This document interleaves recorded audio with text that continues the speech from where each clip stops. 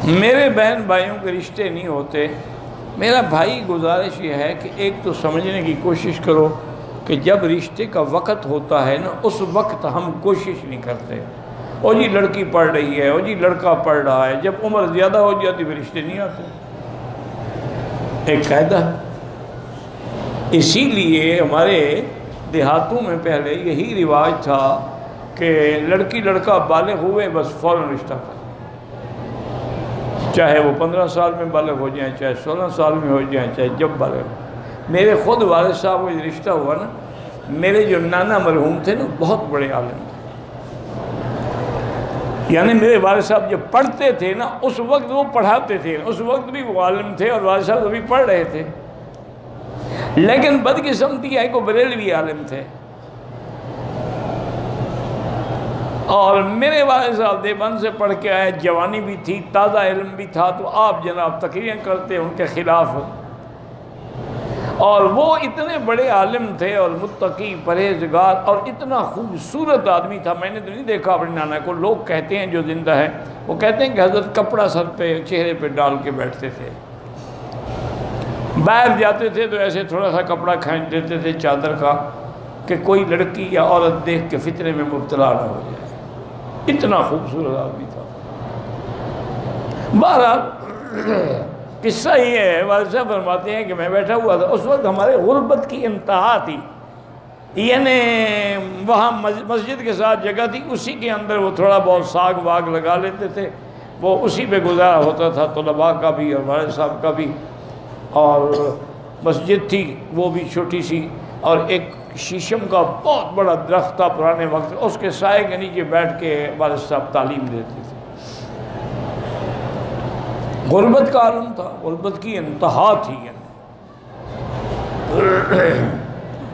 वाले साहब फरमाते हैं कि मैं बुहारी शी पता नहीं कोई किताब पढ़ा, देखा तो मैंने देखा कि मौलाना तशीफ ला रहे हैं।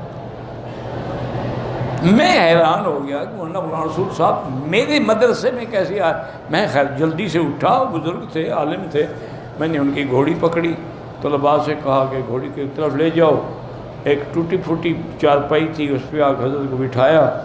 मैंने कहा, हज़रत, कैसे तशरीफ़ लाए? फरमा लगे, भाई, मेरी लड़की रात बाले हो गई है, मैं तुम्हें रिश्ता देने के लिए आया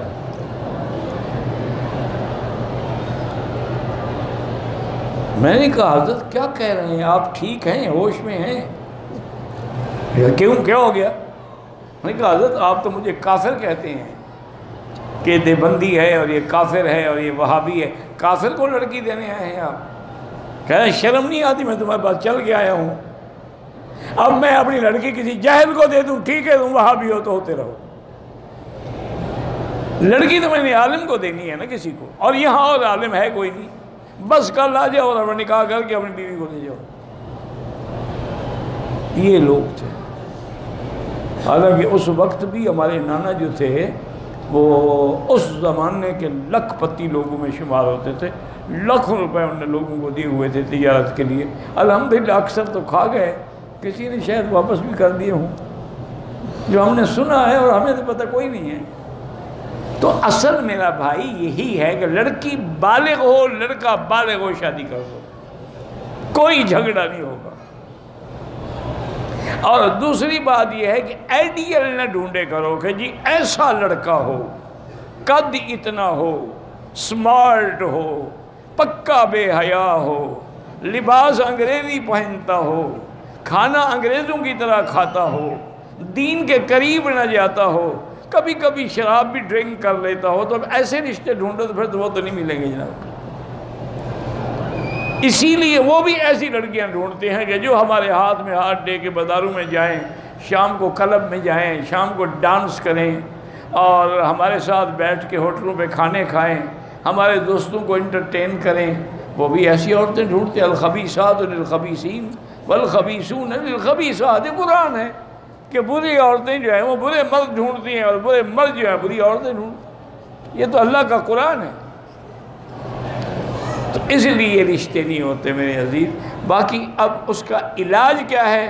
उसका इलाज ये है कि सारे घर वाले तीन दफ़ा सूरत रहमान अव्वल आखिर दरू शरीफ पढ़ के दुआ किया करें इन रिश्ते हो जाएँगे।